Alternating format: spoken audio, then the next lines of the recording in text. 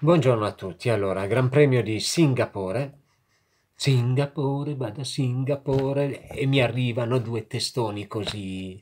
Perché veramente non è possibile fare un Gran Premio su un circuito del genere in cui non è possibile sorpassare. E quindi abbiamo i trenini, i trenini, poi la gente si, si svariona un attimo perché non riesce a sorpassare.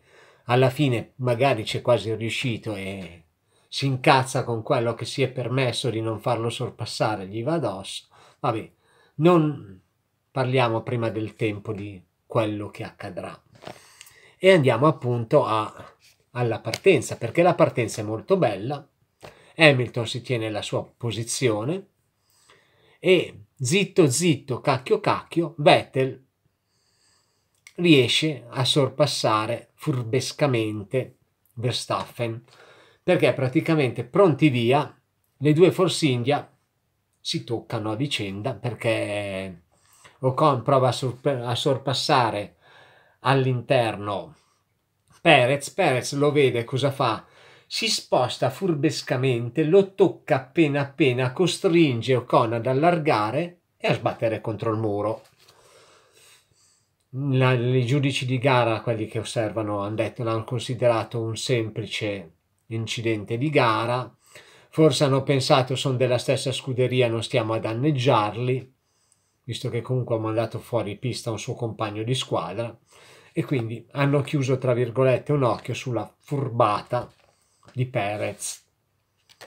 Però, macchina disintegrata contro il muro, safety car, un attimo prima che si accendesse la lucetta della safety car, che poi entra nel giro successivo, cosa succede? Succede che il eh, Vettel con la Ferrari riesce furbescamente a sorpassare molto molto bene eh, Verstappen con la Red Bull e si prende il secondo posto. Poi scatta la safety car, quindi tre giri dietro la safety car e quindi al quinto giro finalmente all'inizio, dopo quattro giri all'inizio del quinto, durante il quinto mettete quello che volete, si riparte con questa classifica. Hamilton primo, Vettel secondo, Verstappen terzo, Bottas quarto, Raikkonen quinto, Ricciardo sesto, Perez settimo, Grosjean ottavo, Alonso nono e Sainz decimo. Il Gran Premio per il momento è, è tranquillissimo proprio perché come vi dicevo non è facile sorpassare, quindi per il momento i, concorrenti stanno un attimino schisci in fila indiana, poi vedendo quello che è successo appunto tra Perez e Ocon, magari preferiscono non rischiare visto che sono 60, ben 61 giri, quindi al tredicesimo giro, o meglio nel corso del tredicesimo giro, Hamilton, giro veloce, inizia una piccola fughina, sfruttando anche il fatto che Vettel e Verstappen si stanno dando battaglie e quindi lui ne approfitta per allontanarsi.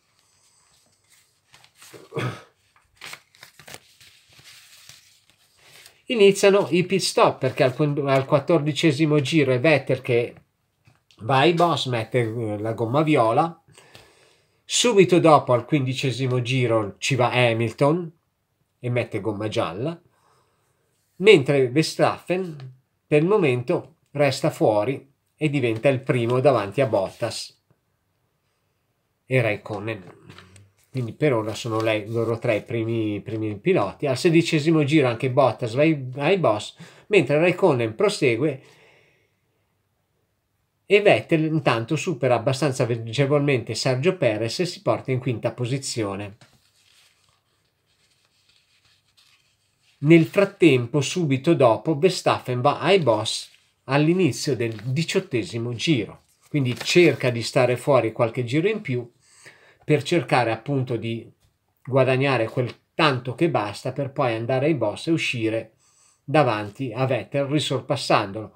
Operazione che riesce perché infatti Verstappen esce dai box con una partenza un attimino dal boss che forse era in seconda è partito in seconda quando era fermo ai boss però riesce a uscire arrivano quasi appaiati, ma lui riesce a stare davanti a Vettel e quindi si riprende la seconda, anzi la quarta posizione perché Raikkonen non è ancora e Ricciardo non sono ancora andati ai box. Quindi al diciannovesimo giro abbiamo Raikkonen primo, Ricciardo secondo che però devono ancora andare ai boss a fare il cambio gomme, mentre invece al terzo posto c'è Hamilton che sulla carta è il primo, Verstappen è quarto, Vettel è quinto, quindi il podio sarebbe questo perché appunto Raikkonen e Ricciardo non hanno quei secondi di vantaggio per poter andare ai boss e stare davanti, ma anzi torneranno poi alla posizione che gli compete. Quindi abbiamo, come vi dicevo, la classifica Raikkonen, Ricciardo, Hamilton, Verstappen, Vettel, Bottas e poi dietro quelli che lottano per tra virgolette, i punticini, cioè Alonso, Sainz, Gasly e Leclerc. Dal diciannovesimo al ventiquattresimo giro non è che si succede nulla di eclatante, al ventiquattresimo giro si ferma anche Raikkonen e mette gomma gialla, a differenza del suo compagno che ha messo invece quella viola super soft. La classifica comunque vede sempre Ricciardo in testa, che non sembra per ora intenzionato a rientrare ai box, mentre Perez dopo il pit stop è sedicesimo dietro a Sirockin, infatti abbastanza inviperito con la sua scuderia perché cosa mi avete fatto uscire, andare ai boss in quel momento lì che così poi sono dietro a tutti. Al ventisettesimo giro finalmente un piccolo, diciamo, scintillina di, di spettacolo, chiamiamolo così, perché veramente è stato un gran premio di una noia mortale perché Leclerc, dopo una bella battaglia, supera Gasly e si prende la nona posizione. Comunque, tutti e due non hanno ancora fatto il pit stop e infatti subito dopo essere stato sorpassato da Leclerc, il pilota della Toro Rosso va a fare il suo pit stop. Al ventottesimo giro anche Ricciardo va a fare il pit stop e rientra con gomma viola anche lui per andare fino in fondo e naturalmente esce in sesta posizione quella che aveva ad inizio gara. A questo punto tutti quelli che si sono fermati non dovrebbero fermarsi più anche se c'è l'incognita. Vettel che avendo messo la gomma viola potrebbe rischiare di non riuscire ad arrivare fino in fondo. Comunque la classifica al trentesimo giro vedo sempre Hamilton al primo posto, adesso che hanno fatto tutti il pit stop. Scusate. Verstappen al secondo posto a 4 secondi e 8. Vettel al terzo posto a 2 secondi e 8 da Verstappen. Bottas a 3 secondi e 4 da Vettel. Raikkonen a 3 secondi da Bottas. Ricciardo addirittura a 13 secondi e 1 da Raikkonen. Alonso a 8 secondi e 4 da Ricciardo. Sainz ottavo a 4 secondi, Leclerc nono a 18 secondi e Ericsson decimo a 4 secondi e 9. Naturalmente sono da un pilota all'altro, non dal primo, perché se no dovremmo mettere il pallottoliere. Al 35 giro c'è in corso una bellissima sfida tra Perez e Sirockin con il messicano che va ruota a ruota con il pilota della Williams, che però gli resiste e alla fine, anche stavolta, il messicano si allarga troppo e rovina la sua monoposto, ma praticamente sono stati ruota a ruota per un po' di giri. Alla fine sembrava che Perez fosse riuscito a sorpassare, ma era appena avanti. Cosa ha fatto? Si è allargato e è andato completamente a sbattere contro il pilota della Williams e addirittura la ruota anteriore della Williams perde il colore, gliel'ha completamente tolta andando a sbattere e naturalmente rovina la sua macchina. Fortunatamente per Sirockin la sua può proseguire, però comunque è costretta ad andare ai boss a cambiare le gomme perché dopo un po', dopo un po' sarà costretta a cambiare le gomme. Però, eh, ahimè, dopo questa botta, Sirocchi comincia a perdere posizioni perché lo sorpassa Hulkenberg e poi addirittura lo sorpasseranno anche altre auto, ma ne parleremo poi nel proseguio del racconto. Comunque eh, Perez dopo questa mossa prenderà eh, la penalità di fare il drive-thru nei boss e arriverà praticamente ultimo. Una gara veramente da dimenticare per Perez. L'hanno, tra virgolette, perdonato nello scontro col suo compagno di squadra, qua non hanno potuto esimersi perché praticamente erano ruota a ruota, c'era lo spazio tranquillamente, lui si è spostato quasi volontariamente per dare una, una bottarella a, al povero Sirockin che semplicemente stava facendo la sua gara, non è che era doppiato o cosa, stavano lotta- battagliando per una posizione, quindi lui ha provato a tenerla, e ci è riuscito e comunque al trentesimo giro Hamilton viene rallentato dai doppiati che permettono a Verstappen di portarsi vicino all'inglese. E lo stesso vale per Reconen e Bottas che sono proprio vicinissimi. La classifica al 41 giro infatti però rivede Hamilton con 3 secondi e mezzo su Verstappen che ci ha provato a stargli vicino ma Hamilton è stato furbo, ha sorpassato uno dei doppiati costringendo Verstappen a stargli dietro perché non c'era lo spazio per passare da e poi una volta sorpassato anche l'ultimo ha ripreso il suo ritmo che purtroppo la Red Bull non ha il ritmo della, della Mercedes Vettel è a 3 secondi e 8 da Verstappen, Bottas è a 4 secondi e 7 da Vettel, però al quinto posto c'è Raikkonen che è a 1 secondo e 4 da Bottas, mentre Ricciardo è sesto a 4 secondi e 7 da Raikkonen. Indietro di, un, di uno sproposito c'è Alonso a 54 secondi, con Ericsson, Ericsson che ha 4 secondi e mezzo da Alonso, Sainz che ha meno di poco più di mezzo secondo da Ericsson e decimo è Van Dorn che è a 9 secondi e mezzo da Sainz.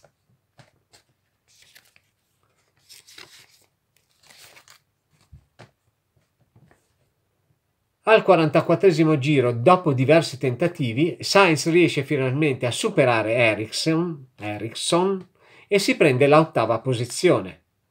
Comunque, questa ottava posizione Harrison gliel'ha fatta sudare per almeno 3-4 giri, ma proprio per il solito motivo che su questo circuito non è possibile sorpassare, perché capite come aprite il DRS, l'app mobile, tutte le varie cose, che poi è la stessa cosa. Il sorpasso viene da sé, cioè hai un, quel 10-20 km in più che ti permettono di sorpassare in maniera abbastanza agevole, tra virgolette, però se c'è lo spazio ce la fai, ma lì era impossibile perché ci sono questi lunghi rettilinei che però hanno subito la, la, la, la curva che devi praticamente da 200 andare a 50 all'ora, 60 all'ora. Quindi non c'è lo spazio, e c'è solo la curva 7 dove poi magari puoi riuscire a... Al cinquantesimo giro. Comunque la classifica vede sempre Hamilton al primo posto, Verstappen dietro a 4 secondi e 3, Vettel terzo a 8 secondi e 6 ormai è in... Uh, l'ha lasciato andare, anche perché poi ha quasi 8 secondi di vantaggio su Bottas, mentre invece Raikkonen è a un secondo da Bottas, Ricciardo a un secondo e 4 da Raikkonen, sono lì vicini quarto, quinto e sesto e chissà che magari qualcuno non riesca a sorpassare, chissà. Alonso è a 56 secondi e 7, buonanotte. Sainz è a 18 secondi e 6 da Alonso, Leclerc è a 13 secondi e 7 da Sainz e Hulkenberg è a 12 secondi e mezzo da Leclerc. Quindi capite benissimo che è un gran premio di una noia mortale perché sono tutti a distanza l'uno dagli altri, gli unici che sono abbastanza vicini che potrebbero battagliare sono appunto il quarto, il quinto e il sesto, Bottas, Raikkonen e Ricciardo, che praticamente tra da Bottas a Ricciardo ci sono solo 2 secondi e 4. Ma ahimè, dal cinquantesimo al sessantunesimo giro non succede nulla di eclatante perché praticamente anche i tre personaggi che potevano regalare un po' di emozioni eccetera continuano a inseguirsi il modello taxi come se fossero su delle rotaie dove non puoi sorpassare, puoi andare sempre alla stessa velocità, allo stesso tempo eccetera. Se si esclude il fatto che appunto Ricciardo passi da 4 secondi e 8 a 1 secondo e 4, 4 secondi e 8, 1 secondo e 4, riesce a recuperare 3 secondi a perderli proprio perché cerca di mantenere le gomme in condizioni umane e non vuole stare troppo vicino a, al pilota della Ferrari Raikkonen perché sennò stando troppo vicino magari le gomme si surriscaldano ulteriormente e si danneggiano. Siccome praticamente, come vi dicevo, sorpassare è quasi impossibile, si sono tutti un po', tra virgolette, accontentati. La classifica finale vede appunto la vittoria di Hamilton davanti a Verstappen e Vettel, Bottas è quarto, Raikkonen è quinto, Ricciardo è sesto. Quindi abbiamo Mercedes, Red Bull, Ferrari. Mercedes, Ferrari, Red Bull. Le prime sei posizioni sono sempre le stesse. Ottimo Alonso settimo che è stato uno dei pochi a non essere doppiati, forse insieme a Sainz. Leclerc è stato doppiato negli ultimissimi giri e nono e decimo è Hulkenberg.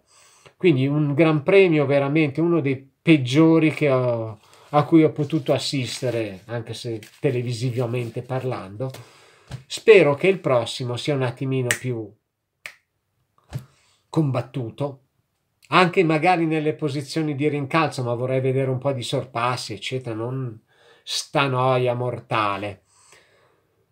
Mentre invece, che dire, Hamilton adesso ha 40 punti su, sul simpatico Vettel, che non intende sicuramente moralare, però nelle ultime 5 gare hanno recuperato ben 48 punti sulle Ferrari o comunque su Hamilton su, su Vettel, che Vettel aveva 8 punti di vantaggio 5 gare fa e adesso si trova 40 punti dietro.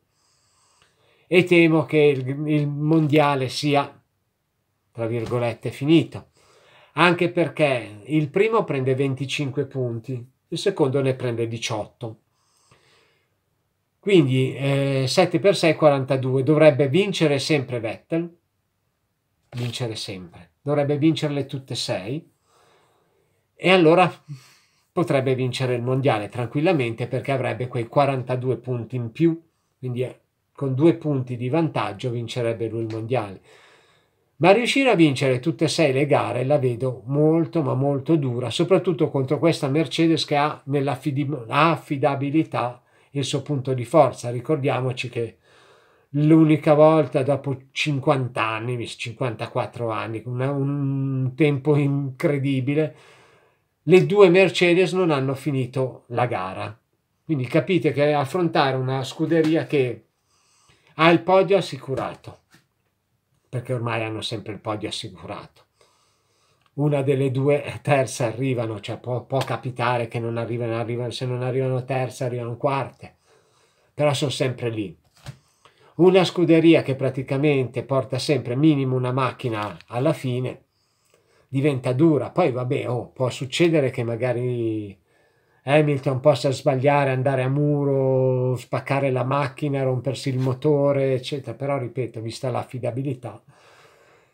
Però è, finché la matematica non condanna Vettel, è giusto che, che ci provi, però figliolo ti devi dare una smossa, sia tu che anche la, la tua scuderia, perché oggi veramente la scelta delle gomme è stata sbagliatissima.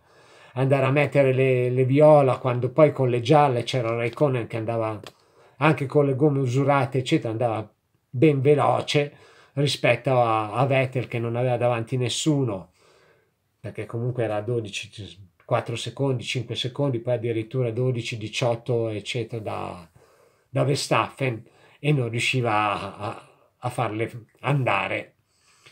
Fatevi una domanda, datevi una risposta. Quindi vedremo nella prossima gara tra non so quando, non ho guardato, perché mi piace volta per volta assistere, vedere quando c'è, eccetera, con calma.